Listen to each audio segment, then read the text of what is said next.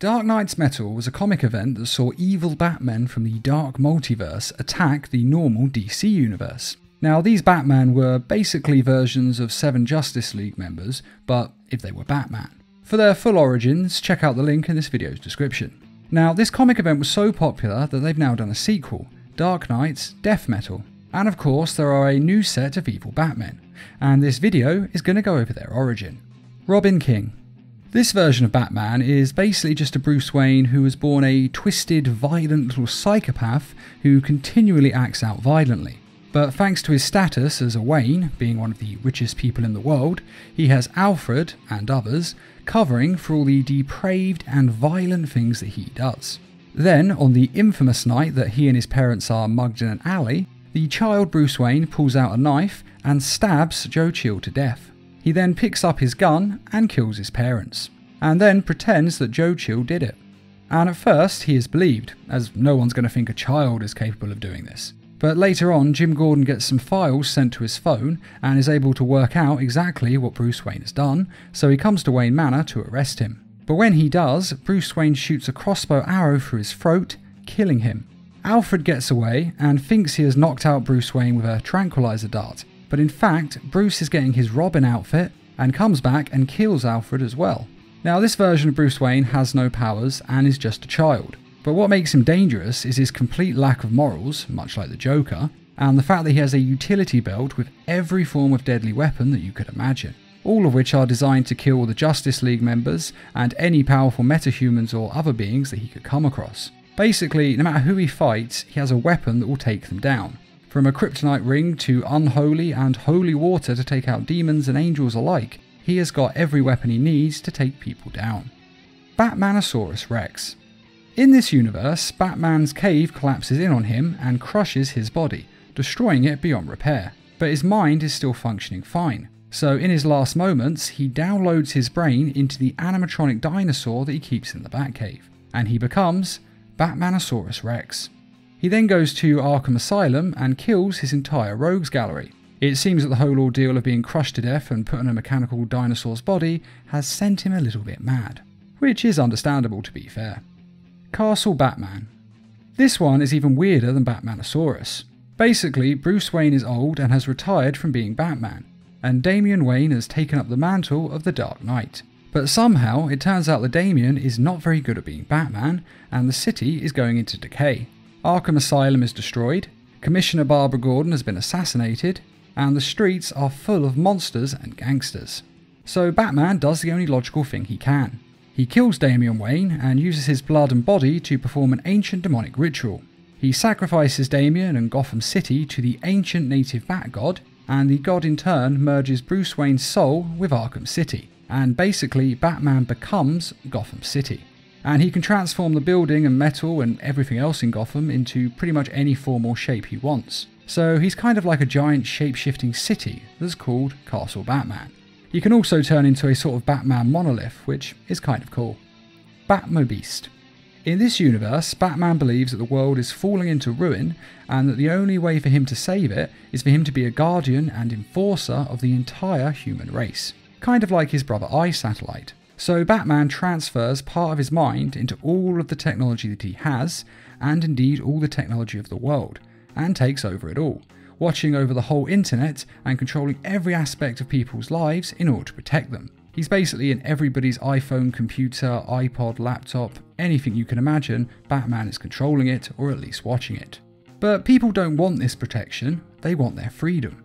So they revolted and killed Batman and systematically destroyed all the machines with Batman's mind on them, all except for the monster truck Batmobile, which is how Batman becomes a monster truck. One thing I feel I should say at this point is I think it's quite clear that the writers have been having a lot more fun with this version of Death Metal, coming up with some truly outrageous Batmen, although they are kind of fun to be fair. Quietus. In Quietus's universe, Batman failed his sidekick, the Signal, and the Signal died, and so Batman decides to resurrect him in a Lazarus pit, because why not? Sadly, Ra's al Ghul didn't like this and tried to stop him. So the Signal's body was in the pit, and Ra's and Batman are fighting to the death next to it. Then they kill each other in the fight, and when they both die, they fall into the Lazarus pit, and all three of them become merged together into one being, becoming Quietus. although from the way Quietus talks, it seems like most of his personality comes from the signal. Now, there are a few other evil Batmen, but sadly we haven't had much information on their origins, but I am going to go over what we know so far. Darkfather. This Batman defeated Darkseid and in the process became the Lord of Anti-Life, and presumably gets all of Darkseid's powers, and going by the name he has, perhaps all the powers of Highfather as well. Baphomet. This Batman had drilled into the oceanic floors looking for new resources, and in doing so, he released an ancient chthonic elder beast, straight out of a H.P. Lovecraft novel, and this creature presumably possesses Batman and transforms him into this horrific beast. The Batman Who Frags. This is a Batman who injected himself with Czarnian DNA and got Lobo's strength and healing factor, and he seems to have also got Lobo's personality as well, as he acts exactly like Lobo, just with Batman's intelligence and skill set. Mindhunter. This Batman stole DNA from Martian Manhunter and combined it with his own, so he could get, as he puts it, the powers of Superman plus invisibility and shapeshifting, and of course the incredible psychic powers, which are the ones that he seems to favour the most. And this does actually make perfect sense. I mean, the Martians have pretty much all the best A-list powers, so who wouldn't want them? The Darkest Knight. When Perpetua takes over the universe, she has the Batman Who Laughs put in charge as her second in command, and he rules over the Earth with an army made up of other twisted versions of Batman. But as you can imagine, he is a terrible, dictatorial, monstrous ruler, so it's only a matter of time before his subjects rebel. And they do. And so the Batman who laughs is killed by Wonder Woman, using a special weapon made from the metal of her invisible jet. Meaning the weapon was invisible, which meant no one saw it, including the Batman who laughs, so she was able to get in close and kill him. But of course, the Batman who laughs had a fail-safe plan ready for this, Previously, he had come across the most powerful version of Batman in the Dark Multiverse. This was a Bruce Wayne who had come across the energy of Dr. Manhattan and had decided he wanted to investigate this power further. So he began recreating the experiment. Then the Batman Who Laughs intervened to make sure that Bruce Wayne was exposed to the radiation in the same way that Dr. Manhattan was, transforming him into Batmanhattan. And no, that's not a joke, that's actually the name they went with. And then the Batman Who Laughs waited till Batmanhattan was able to reconstitute his body, and then at exactly the right moment, he stuck an energy knife into his head, essentially making him brain dead.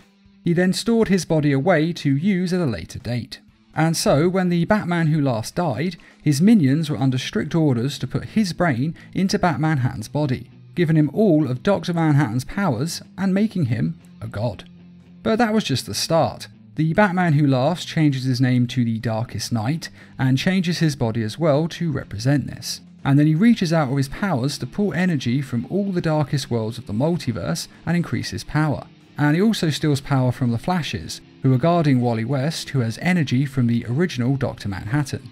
And he also steals power from the other heroes, who have managed to capture Crisis energy in order to fight Perpetua with.